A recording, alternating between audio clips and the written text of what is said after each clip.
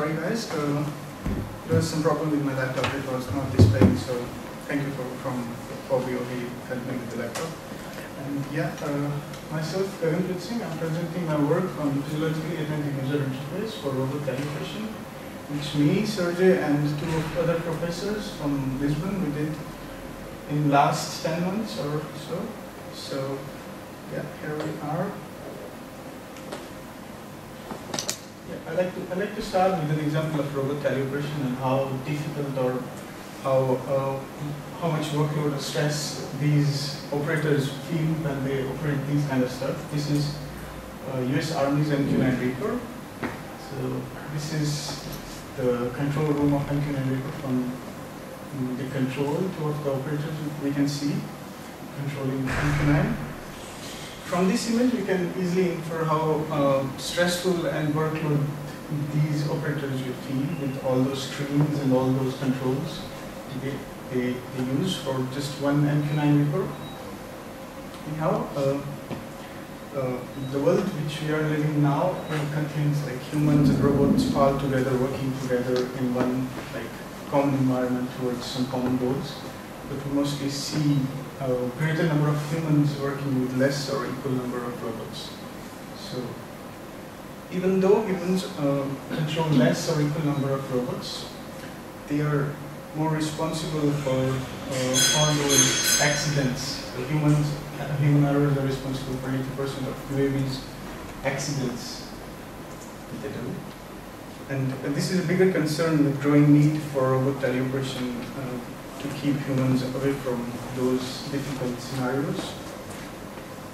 However, currently we have uh, some interfaces which are known as attentive user interfaces that could provide us some overt uh, clues. Like overt clues, we have uh, eye trackers or facial uh, emotions or expressions, which can tell us uh, attentive state of person.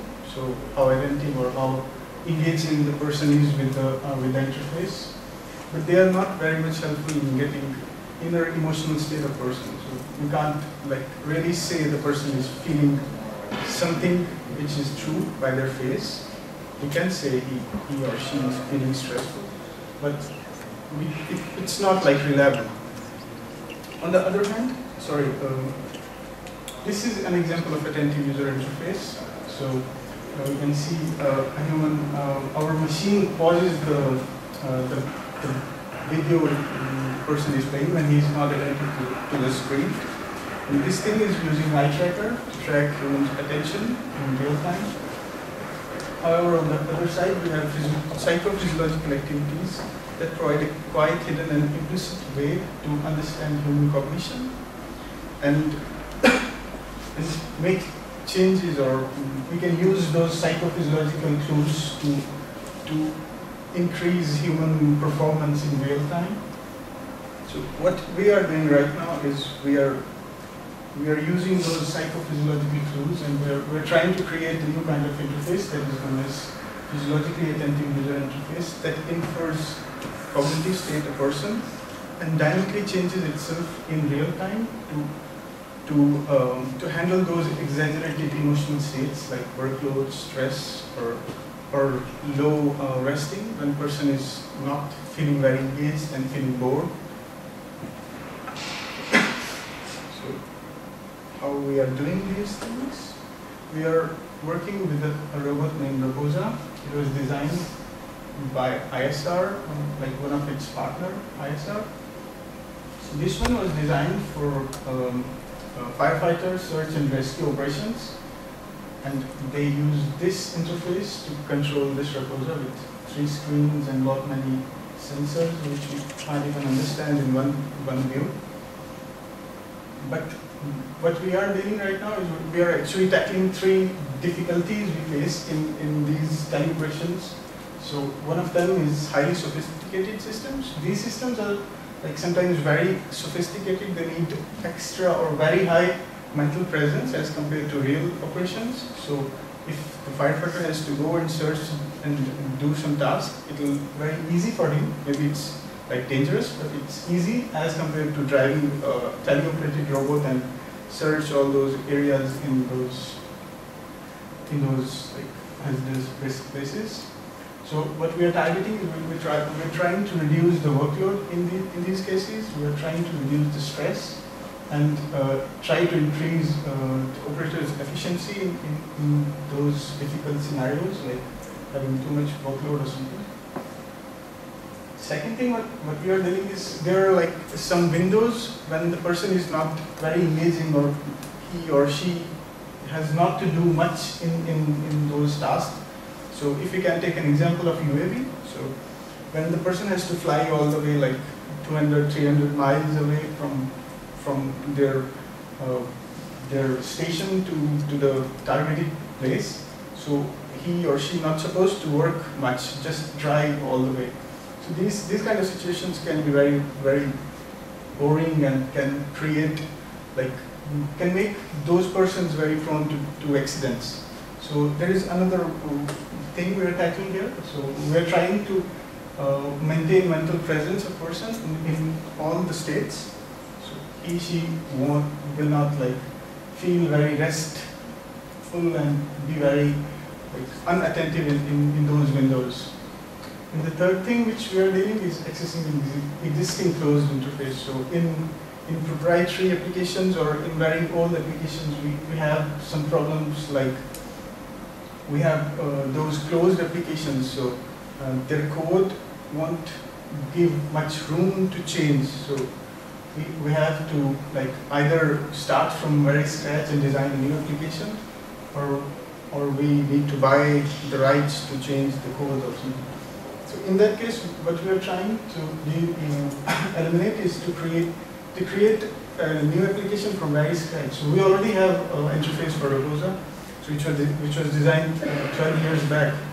And we don't have that source code that, that could be run very easily and we can make changes and create our own new physiological interface for that thing. So we are, we are trying to use something and um, we are trying to use uh, uh, a system, which I'll tell later, to uh, use our older interface and create a new physiological interface over it. So these are the three main uh, issues we are tackling right now for that, we, we revised our approach and we start with physiological signals. So mm, we started extracting physiological signals. Then we, uh, we go for facial emotions and expressions. And third thing which we used is eye movement. So we, we used eye trackers to track where the person is looking in real time. Uh, then we, um, we train classifier by using physiological signals and facial features for, uh, for baseline reading, for stressful state, and for workload. However, this baseline is, is more like uh, when person is, uh, is not in normal state, but feeling very rest, restful and very mm, not very engaging to the system. And then uh, the third thing, uh, the uh, next thing is to encapsulate our older application, which we already have with our new physiologically attentive user interface and bridge them with, uh, with the system known as Sikuli. Sikuli is a picture-driven uh, application which we can use. So uh, I have an example to show, but uh, my system is not able to connect with this thing. So maybe if I if I just show in my my laptop, so if we can see what this Sikuli can capable of. So um, yeah, I'll just run this thing. I, I devise some steps to, to do, and Sikuli is, will automatically do some things. So run this thing?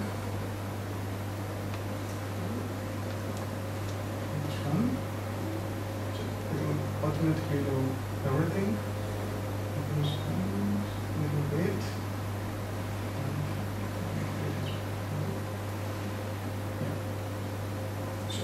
It's something like this uh, if you want to see more, like if anybody missed something, so I can show them again.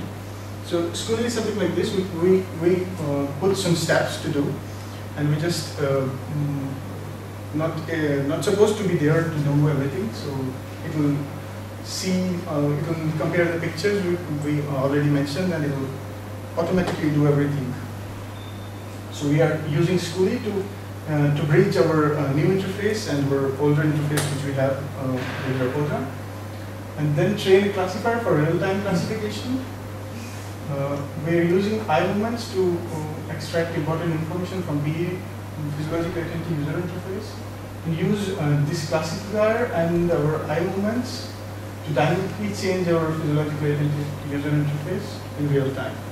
So this this this is our main target to dynamically change our um, with respect to the emotional uh, state of person. uh, so we start with placing our. Uh, we used three uh, apparatus for this. So we used BITalino for uh, physiological signals, uh, ECG, EEG, and EMG and EDA. We used Tobii for eye tracking and camera for facial emotions and expressions. and the placement is something like this. Uh, we put ECG uh, electrode, positive electrode on right calcula, left on the musculature major, and reference on the left calcula, which is the best out of uh, what I already tried with the other positions. We already also tried with these wrist positions, but while driving the robot, will give very bad results, so we shifted to this thing. Uh, for EDA, we use left arm. And for EEG positions, uh, we put positive and negative on the forehead to make the things very simple, so we don't want to use uh, big caps and all, so we, we try to um, build prototype. Okay? We used left earlobe for, reference. Uh, we used uh, left-handed abductor muscle for positive and negative of EMG. And uh, for reference electrode of EMG, we used uh, head of ulna, which is somewhere here, this bone. And uh, for Tobii placement, it should be like uh, under the display screen pointed towards the eyes, and the camera should be pointed towards the face. The face should be visible. And the things we collected from uh, from BITalino, uh, we uh, processed ECG signal for heart rate, we processed, uh, processed it for uh, SDNN and RMSDB, SSD, uh, which is like heart rate variability.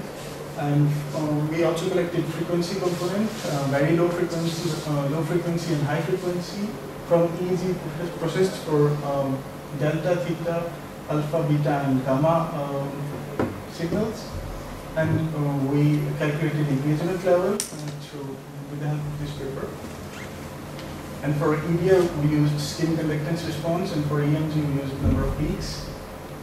From Tobii, we, we used uh, current uh, position of eye and biggest fixation position, so where, uh, which is the most important of all uh, in the screen for the person while driving or doing the task from camera, we, we used an effective uh, SDK provided by Affectiva that, that's helpful in, in, extracting facial and emotional expressions. So they already trained some classifiers to, to extract uh, human features.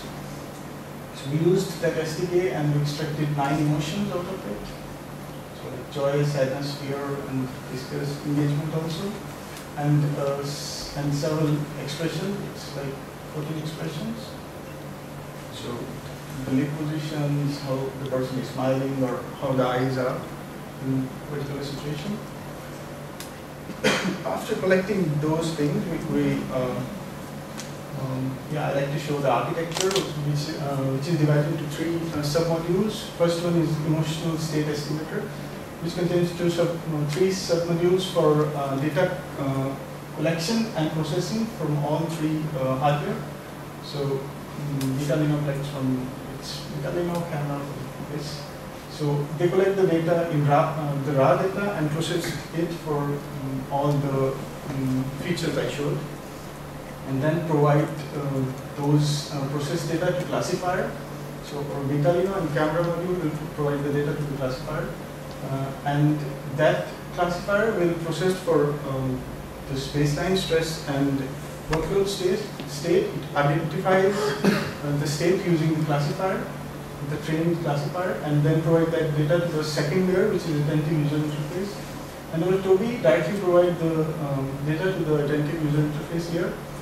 This attentive user interface here will do all the dynamic changes to, this, to the uh, interface. It will um, like decide like what to do in workload state, what to do in resting state, and it also shows uh, the information from the older interface and also give information to the older interface that what to change next and what to do next.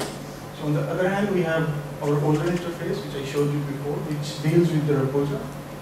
So to bridge this gap, we, we designed a third layer, which is system integrator, which contains one feedback extractor that extract all the feedback data from, from Raposa, like uh, images which camera is showing or the sensor information which is showing.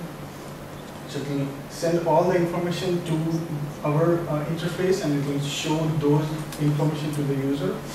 So our older interface will stay in the background, so the person will not be able to see, but will deal with the new interface.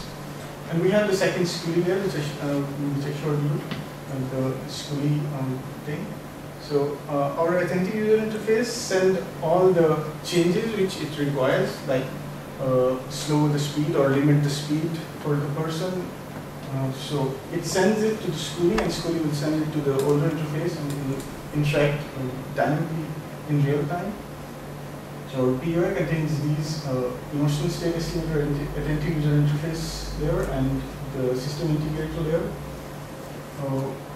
What we uh, then did, we, trained the classifier which we used in this module. So we separately trained the classifier in Python and uh, which runs, uh, which averages data for three seconds and then uh, classify that emotion, uh, emotional state of, of, the person using BITalino and Camel yeah, so how we did our experiments. Uh, we divided the experiments into two uh, different modules. So we did virtual experiments with, uh, with games. Uh, for that, for baseline, we, we put the person just to watch a black screen. We also tried some other stuff, but this is uh, the, the best we get from the results. The best results we get from this, this uh, experiment. And for resting, we put the person to play a customized Tetris game, which is like it's customized to be very, very hard. And uh, the third, uh, for the workload, uh, we put the person to play in, in, in a simulator named Rings of Rods.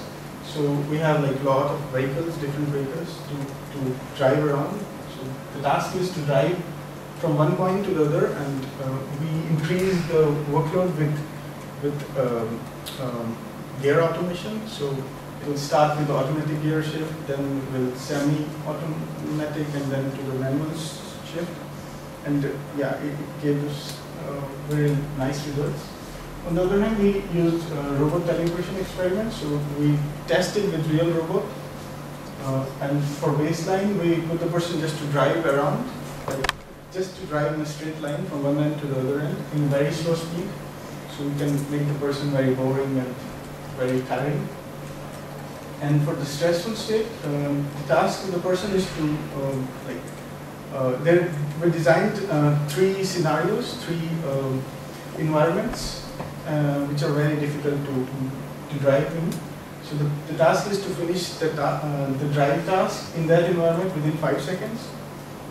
And mostly we see people are not able to finish. And uh, in the workload, uh, the person has to search five things in an environment. It's a home-like environment designed in uh, ISR Lisbon. So it's more like a bedroom, um, a kitchen and all. So the person has to search five things and uh, alongside has to answer some arithmetic problems in this way. Like it starts with two numerics and then uh, has to remember the last answer and keep on answering and using new uh, uh, data. So these, these are the experiments we did and we got some nice results. For it, I like to show some engagement data which we, which we got from stress. So this is uh, what we got from stress task. And on the other hand, on the, on the baseline, the results are very low. So it will clearly reflect the change we got from both experiments. The person is not doing much. So his engagement uh, data is, is very low. And on the other hand, when the, when the person is playing that Tetris game, so the engagement is very high. Uh, then we we do the classification thing. So we trained our classifier. For that, we divided our data into three sub uh, sub uh, packets. For virtual uh, for the virtual experiments, we did with two tests and divided into 70-30 ratio. Uh, on the real experiments, we used five test subjects and divided the whole data into 70-30 ratio. And we also did uh, the real, uh, the person-specific test. So in that, we used real data from just one person and use uh, and divide that data into 70-30 ratio and trained the classifier and tested how we get all these different uh, data and how the classifier showed the result in these cases. Uh, we trained uh, two different classifiers. Uh, we trained uh, k-nearest neighbor and got quite good result in, in virtual experiments, 77.63% for real experiments with, with five people, we got 79, and with person specific, just one person, we got 82.95% of accuracy. And we also trained our support vector machine which gave us like 80% accuracy in virtual uh, data. With 5% people uh, in real experiments, it gave 84%, and with just one person, it gave 88.37% data. So we did our person-specific test to identify how the, our data will deal with like with just person, how variable it is if we use like seven different objects together. And in conclusion, uh, uh, what we did is we proposed the physiologically attentive user interface uh, for robot teleoperation, which is a very new thing, never did before. Uh, developed a classifier for from for physiological data and resting, stress, and workload. Resting is like when it's more like baseline, when person is very way too restful and we evaluated our uh, results with virtual games and robot, real robot scenarios. Uh, results we got, we got like 70, 84.75% uh, with S SVM, which is quite good in, in that case. And our future uh, perspective we're working towards integrating that classifier in, in the whole architecture. So currently we have all the modules running, we just have to place the classifier and do the real-time testing. We're also working with uh, deep neural networks and uh, currently we are getting 90% accuracy with the same data we, we trained here. So we're looking forward to that thing also to train some good architecture in deep neural network and got some more accurate results, maybe 90 plus. Uh, that's all from my side. So, very good questions. Questions?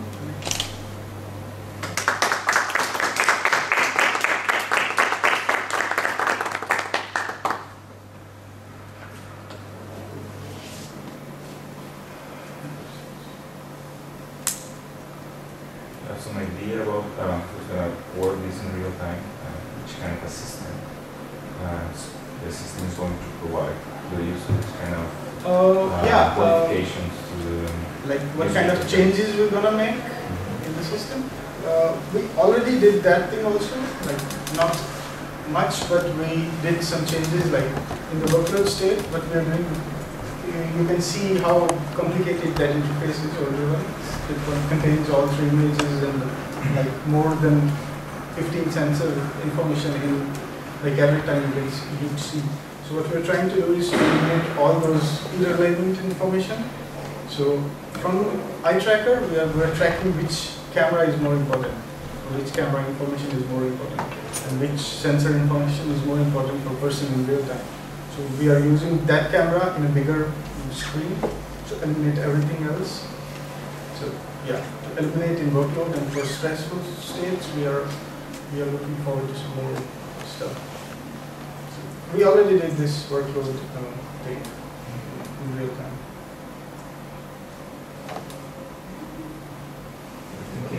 place on um, feature reduction technique for that? Because I saw you have a bunch of features uh, um, yeah. in real time. Yeah, we're also thinking about that thing also. Uh, yeah, we got some good feedback with the paper we published. So we have, have to evaluate things and we are also looking forward to use, start with one sense, uh, one feature and move on with, the- with all the features and see how things are changing. So we're also that.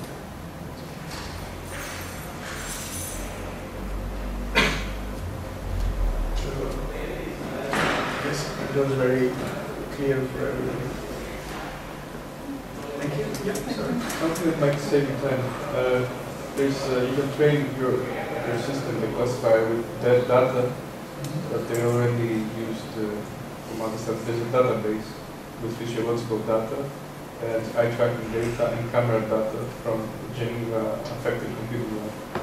They have a database uh, with all with all this type of data, EEG, with all the features. So you might use you can use the data to train also the classifier.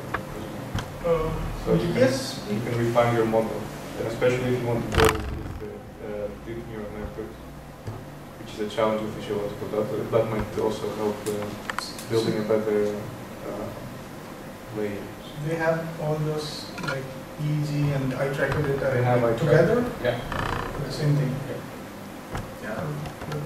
They have, uh, I think they're tagged data for uh, for valence and arousal. So they're tagged. You just have to the Yeah, I checked the Geneva thing and they used all the images to, to get the, the valence and the other stuff. Okay, but this is yeah, this is the just the. Yeah, I didn't know about the, the data. I know about the database of the images data. So I'll, I'll- They're all thank you. Thank you. Thank you.